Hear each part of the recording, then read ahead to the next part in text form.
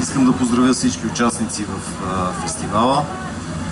Винаги ми е приятно, когато съм канен да присъствам на инициативи, които подчертават доброто сътрудничество в трансграничната област между България и Сърбия.